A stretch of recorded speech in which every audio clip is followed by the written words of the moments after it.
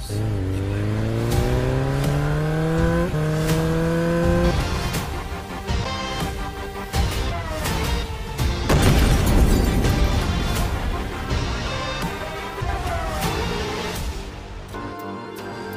थी तुम?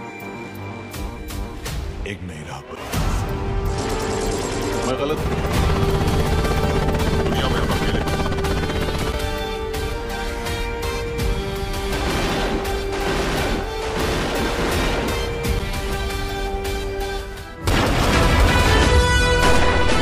दोस्तों, अगले साल के स्टार्टिंग में आने वाली है इंडियन सिनेमा की biggest upcoming action drama movie Fighter जिसे सिद्धार्थ आनंद के डायरेक्शन में बनाया जा रहा है। जी हाँ दोस्तों मूवी में हमें मेन लीड रोल में बॉलीवुड सुपरस्टार ऋतिक रोशन दीपिका पादुकोण और अनिल कपूर जैसे दिग्गज कलाकार नज़र आने वाले हैं। तो वही आपको बताना चाहेंगे रिसेंटली मेकर्स ने इस मूवी की रिलीज़ डेट कंफर्म कर दी है और साथ ही साथ मूवी के दो न्यू पोस्टर रिलीज़ कर दिए हैं, जिसमें हमें ऋतिक रोशन और दीपिका पादुकोण के लुक्स भी देखने को मिल रहे हैं। मूवी की रिलीज़ किए गए पहले पोस्टर को लोगों से काफ़ी अच्छा रिस्पांस मिल रहा है। तो वही पोस्टर से हमें पता चल रहा है कि इस मूवी में हमें ऋतिक रोशन का नाम पैती रखा जाएगा और दीपिका पादुकोण का मिनी देखने को मिलने वाला है। तो वही कुछ मीडिया रिपोर्ट्स के मुताबिक बताया जा रहा है कि मूवी में हमें दीपिका पादुकोण और ऋतिक रोशन के कई सारे एक्शन सीक्वेंस देखने को मिलने वाले हैं, जिसमें काफ़ी बड़े लेवल पर परफॉर्म किया गया है। फ़िलहाल आपको बताना चाहेंगे, ये मूवी आने वाली 25 जनवरी को रिलीज़ की जाएगी। और खबरों की माने तो मूवी का टीजर डंकी मूवी के साथ रिलीज़ किया जाने की